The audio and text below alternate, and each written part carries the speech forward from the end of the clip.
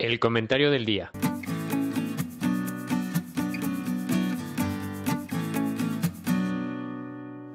María del Carmen Ojeda Portilla presenta El manejo de la crisis en México. La crisis sanitaria del COVID-19 se supera día con día y la luz al final del túnel se prolonga cada día más. La esperanza de pasar las fiestas decembrinas limpios de todo virus se esfumó y en este largo camino se profundiza también la gran crisis económica que acompaña a la crisis sanitaria. Si me lo permiten, es momento de posicionarnos en un terreno un poco más técnico que en columnas pasadas y hablar sobre las principales señales económicas que nos arrojaron los indicadores de coyuntura y el significado que estos tienen en el terreno político y en el manejo económico de la pandemia en nuestro país. En economía, la teoría de la crisis y el constante debate sobre su existencia y o necesidad es recurrente. Por un lado, desde la economía ortodoxa se defiende la teoría de las crisis imposibles. La palabra les corroe y prefieren hablar de ciclos económicos, negando por completo la posibilidad de una crisis gestada por el propio mecanismo sistémico del capitalismo.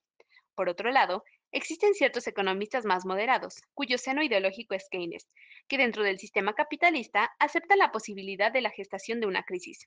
Y por último, los más heterodoxos defienden la idea de que las crisis son necesarias para la superación del sistema. La forma de abordar el tema es diferente, pero el problema que estudian es el mismo. Y sea como sea que le quieran llamar, todos coinciden en que las crisis o velocidad del ciclo son cada vez más recurrentes y en su mayoría más profundas. Sus consecuencias se superan una tras otra dejando atrás un sinnúmero de damnificados. En el caso particular de México, si analizamos cómo se ha comportado la demanda, consumo privado, consumo público, inversión y exportaciones netas, ante la crisis sanitaria encontramos que la inversión ha sido la más afectada. En el segundo trimestre de este año tuvo una caída del 34% con respecto al segundo trimestre de 2019, y dentro de las variables de la inversión, el sector más afectado ha sido el de la construcción. Por otro lado, el consumo privado también se ha visto mermado con una caída del 21% en el segundo trimestre de este año con respecto al anterior, siendo el consumo nacional de servicios el que presenta una mayor caída del 23%. Pero hablemos del consumo público, del cual no existe la misma desagregación de datos, por obvias razones, y el cual no ha compensado la caída de la inversión ni del consumo de las familias.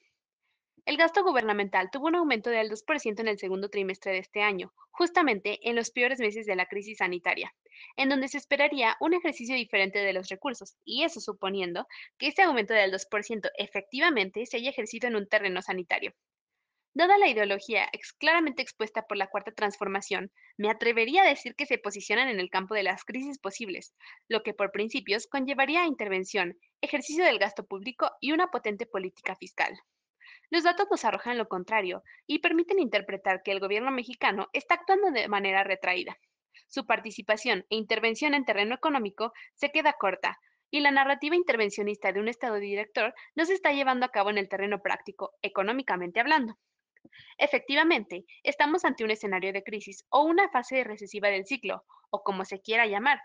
Una crisis que llega 12 años después de la primera gran crisis del siglo XXI y de la cual siguen existiendo rezagos.